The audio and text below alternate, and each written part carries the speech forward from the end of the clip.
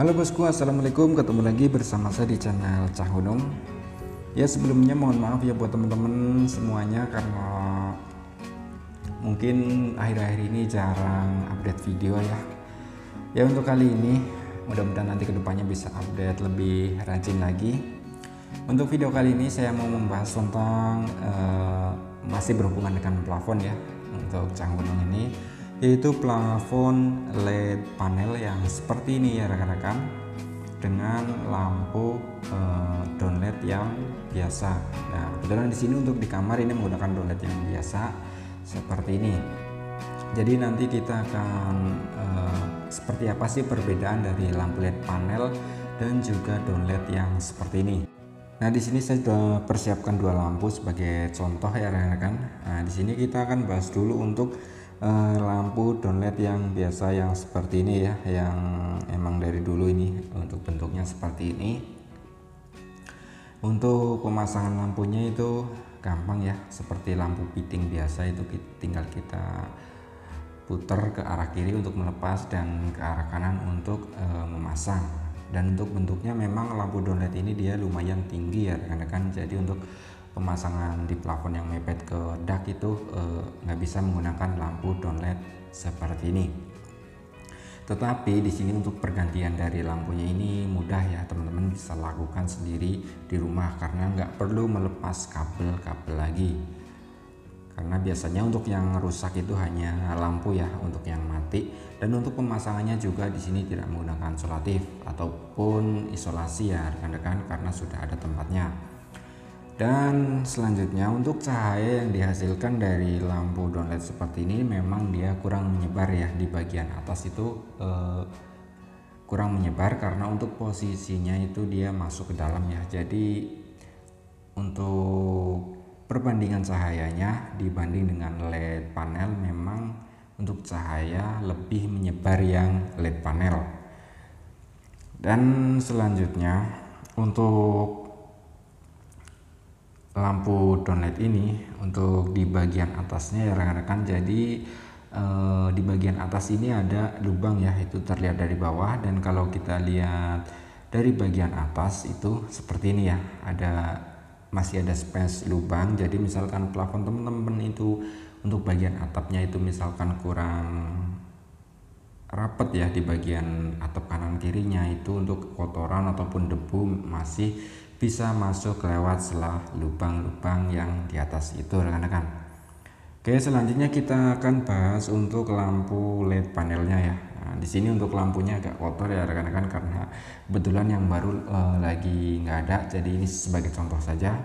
Nah untuk LED panelnya ini bentuknya seperti ini ya. Jadi dia rata di bawahnya sehingga cahaya yang dihasilkan itu lebih e, menyebar ataupun juga lebih terlihat terasa lebih terang seperti itu rekan-rekan karena di bagian atas di bagian plafon itu langsung menyebar. Dan untuk eh, pemasangan ataupun saat dipasang sendiri memang terlihat lebih bagus ya karena dia itu kan rata nggak ada lubang seperti lampu downlight yang eh, biasa itu. Dan untuk bentuknya juga dia tipis jadi misalkan teman-teman plafonnya itu mepet dengan dak ya tidak bisa menggunakan lampu downlight yang tinggi seperti ini teman-teman itu bisa mengaplikasikan ataupun memasang menggunakan lampu LED panel seperti ini karena dia bentuknya itu hanya kurang lebih 3 cm ada yang uh, itu tebal-tebalnya kalau nggak salah itu sekitar 5 cm dan untuk lampu LED panel ini dia selain di bagian bawah ini adalah lampunya ya dia tipis. Dan untuk uh, konektor ataupun saya menyebutnya ini trafo ya rekan-rekan. Jadi dia ada trafo pisahnya seperti ini yang kita sambung ke bagian kabel lampu yang dari saklar ya. Jadi kita sambung dan kita isolasi. Dan yang agak repot ya misalkan teman-teman menggunakan lampu LED panel ini itu ketika lampunya mati memang agak sulit, agak ribet ya untuk menggantinya. Kita harus melepas uh, lampunya dan kita lepas untuk bagian uh, trafonya ini. Karena biasanya untuk yang lampu LED panel seperti ini itu misalkan mati itu biasanya rusak juga dari bagian uh, konektor ataupun trafo ini rekan-rekan. Jadi mau nggak mau kita harus lepas semua dan kita uh, ganti semuanya. Sedangkan kalau lampu LED ataupun lampu downlight yang seperti ini ini kan biasanya kalau mati paling hanya lampunya saja ya rekan-rekan.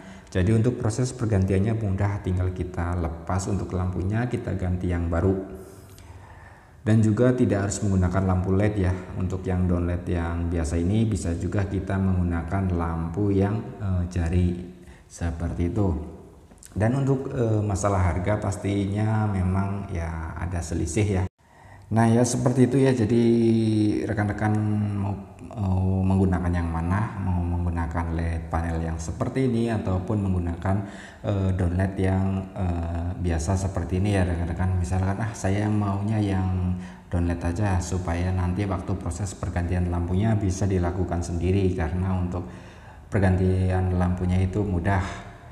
Ataupun teman-teman mau uh, memilih yang LED panel supaya terlihat cahayanya lebih menyebar dan juga untuk plafon itu terlihat lebih bagus ya karena posisinya itu rapat dan rata. Semua tergantung teman-teman ya maunya yang uh, sesuaikan saja sesuai keinginan ataupun selera dari rekan-rekan semua. Dan untuk video kali ini itu saja rekan-rekan. Sedikit pembahasan tentang lampu plafon antara lampu down LED dan LED panel kalau menurut teman-teman ini bermanfaat silahkan like kalau ada pertanyaan tulis di kolom komentar dan kalau suka dengan channel ini silahkan klik subscribe biar teman-teman gak ketinggalan video terbaru dari channel ini dan tentunya saya lebih semangat untuk video untuk membuat video terbaru lainnya yang mudah-mudahan bisa bermanfaat. Sampai ketemu lagi di video-video berikutnya. Assalamualaikum.